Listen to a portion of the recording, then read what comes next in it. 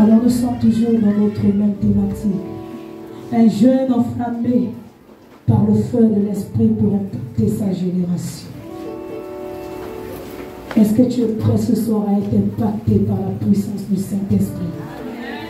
Ton amen devait être différent parce que tu as cette soif. On nous a parlé de la soif. On nous a parlé de désirer. Alléluia.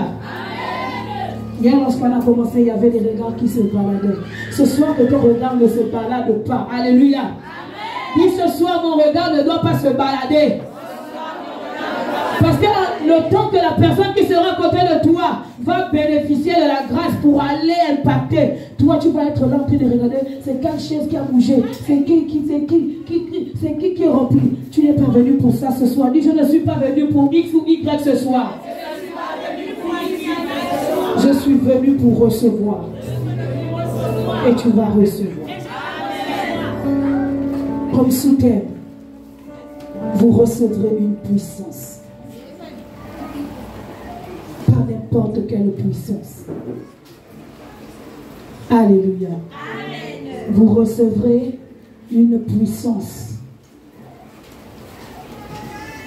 Et voilà pourquoi, moi personnellement, je suis venu avec cette soif.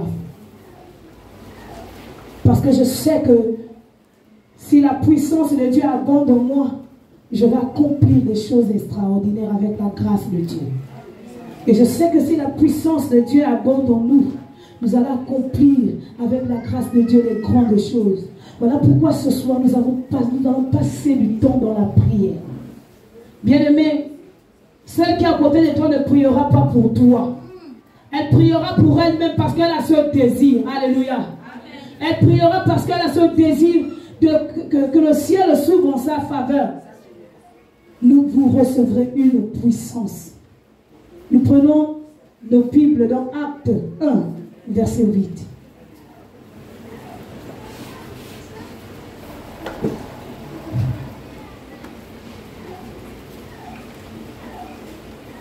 Que celui qui a la page est rempli du feu de l'esprit.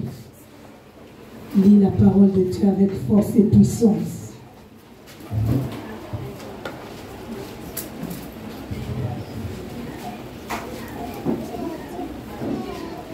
Acte 1, verset 8.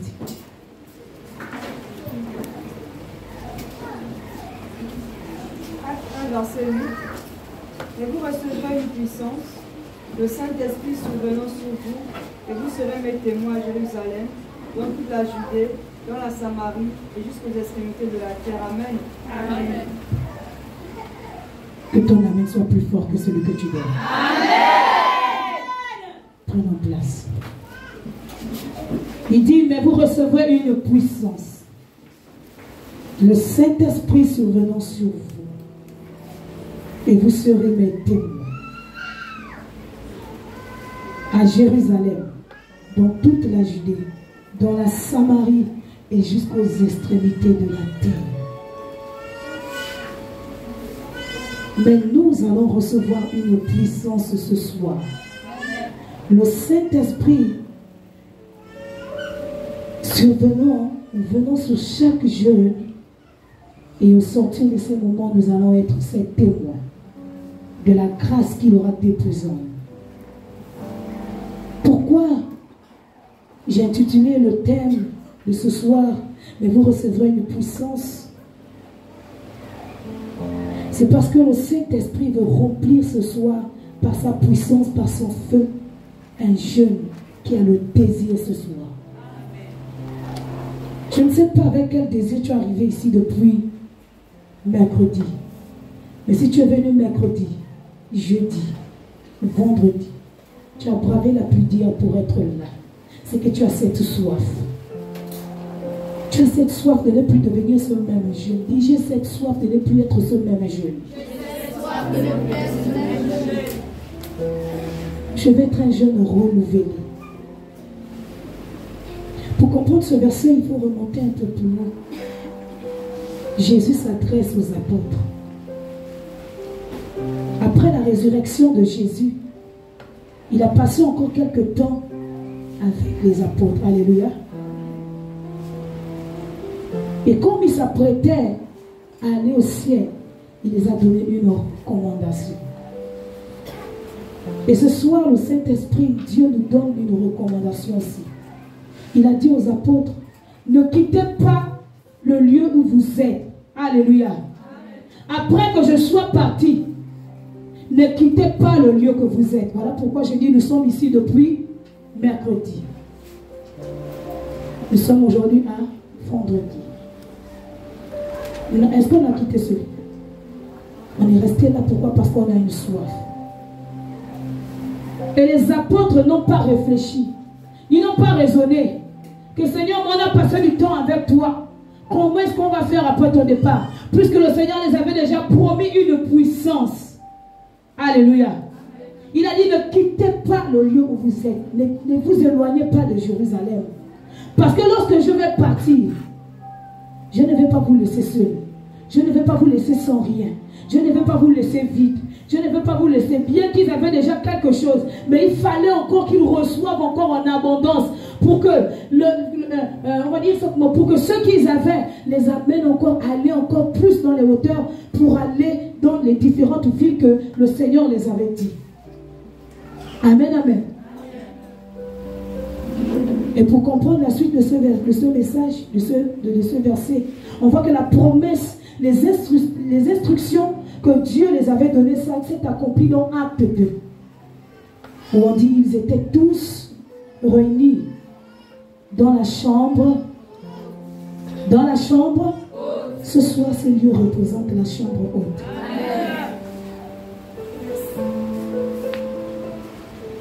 Ils étaient réunis. Jésus a dit, je vais partir, mais je ne vous laisse pas orphelin. Je vais envoyer sur vous la puissance. Est-ce qu'ils étaient divisés? Est-ce que chacun était dans, dans ses occupations? Ils faisaient tout pour rester ensemble. Parce qu'ils attendaient, ils avaient cette soif. Que la puissance, que le feu de Dieu descende sur eux.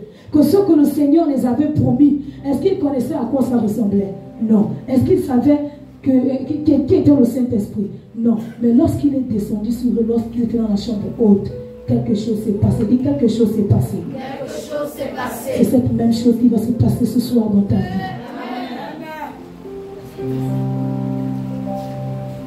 Quand tu vas commencer à prier comme les apôtres ont prié, quand tu vas commencer à adorer le Seigneur, quand ta soif va augmenter ce soir, quelque chose va se passer.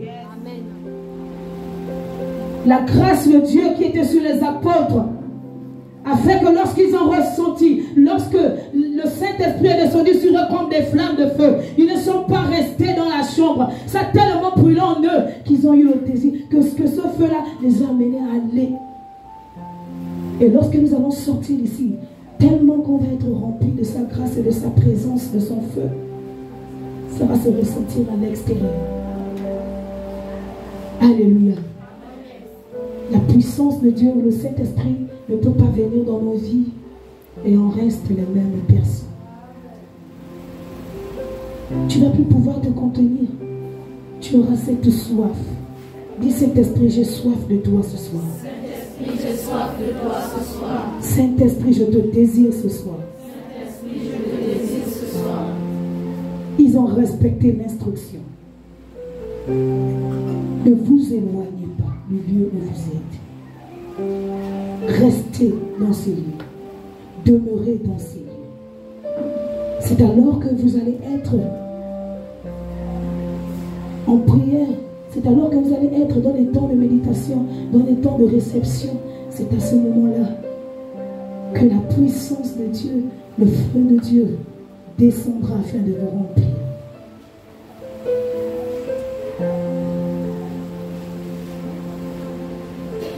Sommes des vases ce soir. Alléluia. Dis, je suis un vase ce soir. Un vase ce soir. Saint-Esprit, remplis le vase que je suis. Lorsque tu le dis, ne le dis pas avec des larmes. Saint-Esprit, réalise. Saint-Esprit, remplis le vase que je suis ce soir.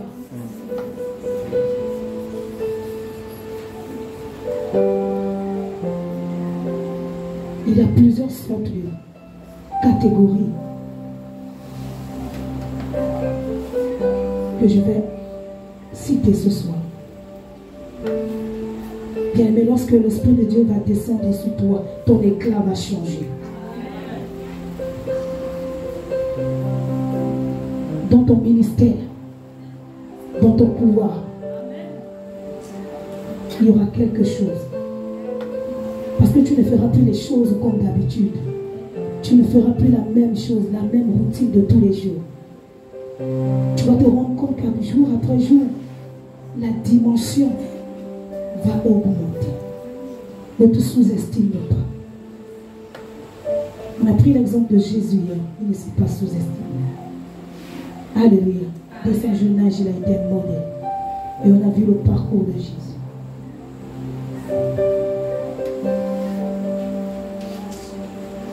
Tu avais perdu l'éclat,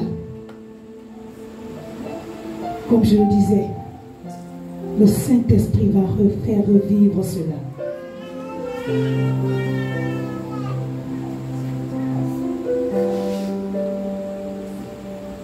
Il y a plusieurs catégories de vases. Il viendra remplir premièrement les vases vides. Alléluia. Ce sont ces personnes qui n'ont jamais expérimenté la gloire de Dieu, la puissance de Dieu. À chaque instant, tu le vois toujours. Mais qu'est-ce qu'ils ressentent? Qu'est-ce qu'ils vivent? Qu'est-ce qu'ils ont? Qu'est-ce qu'ils ressentent? Laisse-moi te dire ce soir que tu ne vas plus te poser de questions. Parce que ce soir, le Saint-Esprit va descendre dans ta vie. Alléluia.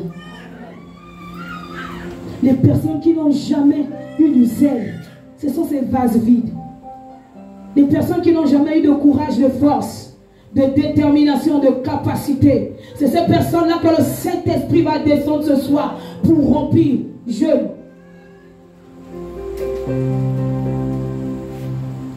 Et pour cela, nous pouvons prendre dans deux rois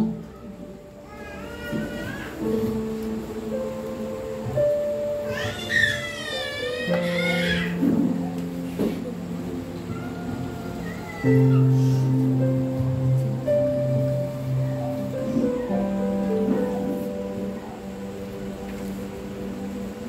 oublié de noter le verset, vous m'excusez. Mais de deux on parle de vase. Alléluia. Et ce soir, si tu es vide, si tu es sec, si tu n'avais plus de vie, si tu n'as jamais eu de vie, quand je parle de vie, je ne parle pas de la vie que l'on respire. Je ne parle pas de cette vie-là.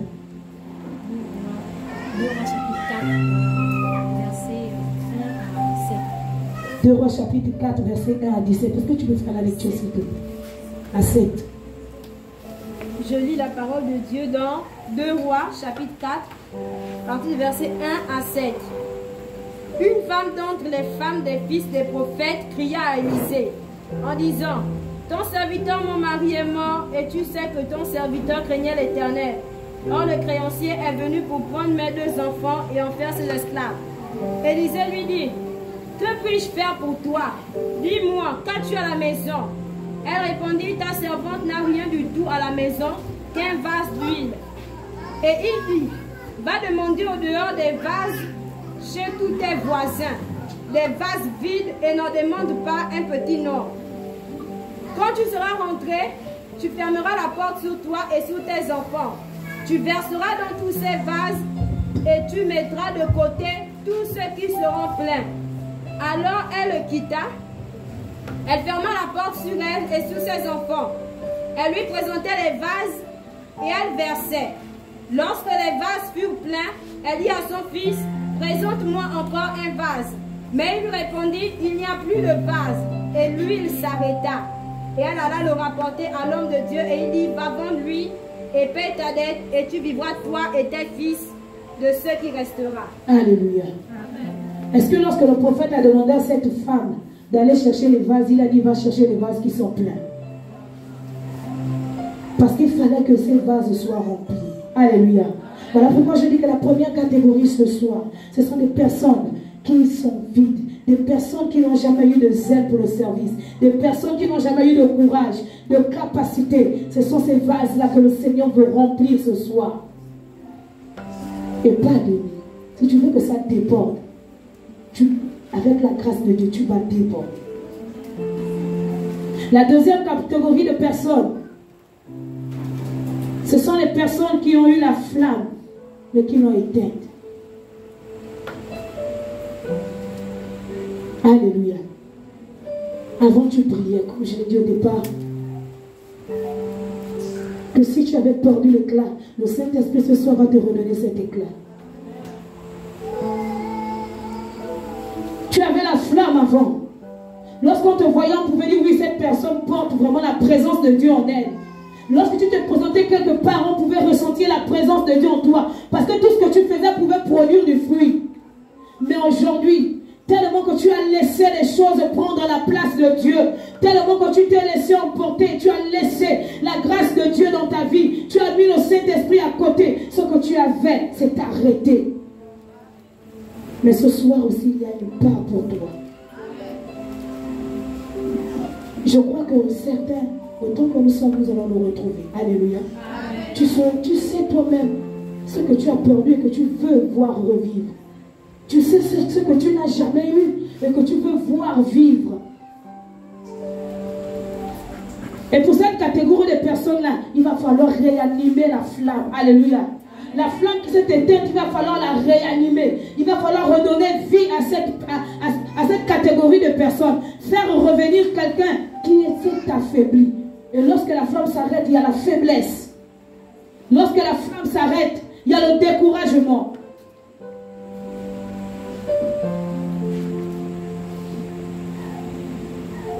Et ce soir, la puissance du Saint-Esprit et le feu de Dieu dans ta vie va t'encourager, va te redonner la force de te relever. Afin que tu sois, comme je l'ai dit et je le redire, afin que tu repris comme La troisième catégorie, les personnes qui ont la flamme, mais qui qui diminue. Tu avais la flamme, elle a diminué. Alléluia. Ce qui fait que même lorsque tu veux faire quelque chose, c'est là. Mais tu sens qu'il te manque quelque chose. Tu sens que tu as baissé dans ce que tu avais pour habitude de faire. Avant, lorsqu'on te voyait faire quelque chose, chanter, servir le Seigneur, aller à l'évangélisation, quel que soit le domaine, on pouvait ressentir. Maintenant que tu n'arrives plus à faire cela, c'est cette catégorie de personnes-là dont la flamme a diminué. Et ce soir aussi, le Saint-Esprit veut refaire, revivre, veut augmenter. Alléluia. Le Saint-Esprit veut faire de toi comme ces cinq sages qui ont gardé leur lampe allumée. Alléluia. Il ne veut pas que tu sois dans la catégorie de celles-là qui ont laissé leur lampe éteinte. Parce que s'il est déjà diminuer et que tu ne la réanimes pas, qu'est-ce qu'elle va faire? Qu'est-ce qu'elle va faire? Est-ce que c'est ton désir qu'elle s'arrête? Je ne suis pas sûr. Ton désir, c'est qu'elle revive encore. Alléluia. Et l'autre catégorie, c'est ces personnes-là qui ont déjà une flamme très vive. Mais tu, as, tu désires encore. Alléluia. Parce qu'avec le Seigneur, on, doit toujours désirer. Alléluia. On ne doit pas se limiter à ce qu'on a pu dire. Non, ce niveau-là me suffit. Plus tu dis tu te suffis, plus aussi tu vas rester là. Pour que le feu soit plus grand, il faut ajouter le bois, n'est-ce pas? Et ce soir aussi, même si tu es déjà fort, désire toujours être plus fort. Parce que c'est en étant plus fort que le Saint-Esprit continuera de t'utiliser encore dans d'autres domaines. Alléluia. Que soit le niveau que tu as aujourd'hui, je... La puissance de Dieu ne va pas passer son pouvoir te toucher. Ne dis pas, oh non, tu vas raisonner. Si tu raisonnes dans la tête, tu mets déjà un frein. Si tu réfléchis déjà, tu me mets un frein. Laisse-toi juste porter par la présence de Dieu. Laisse-toi juste guider. Tu es vide. Le Saint-Esprit va te faire revivre.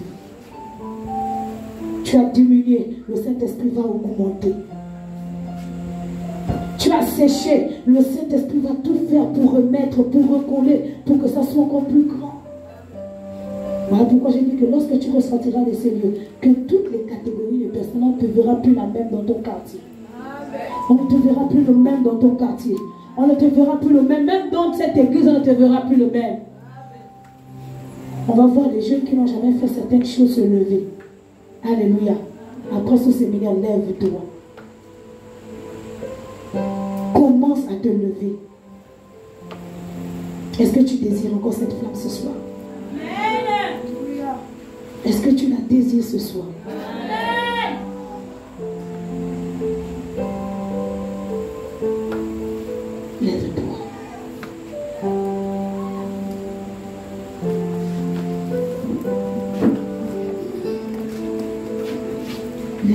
Ce désir.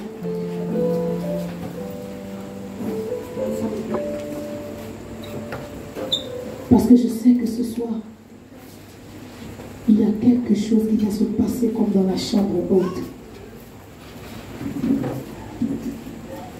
Cette chose qui a bouleversé la vie des apôtres ce soir, Saint-Esprit, je prie que ce Saint-Esprit, que le Saint-Esprit bouleverse la vie des jeunes ce soir, Jésus. Saint-Esprit bouleverse la vie, Seigneur, d'un jeune ce soir. Seigneur, un jeune qui a séché. Un jeune, Seigneur, qui est vide.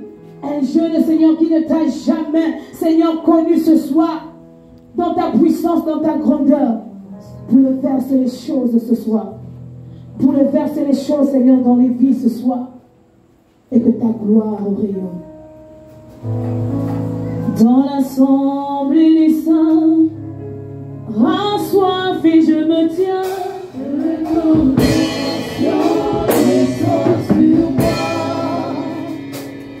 Dans l'assemblée des saints, un soif et je me tiens.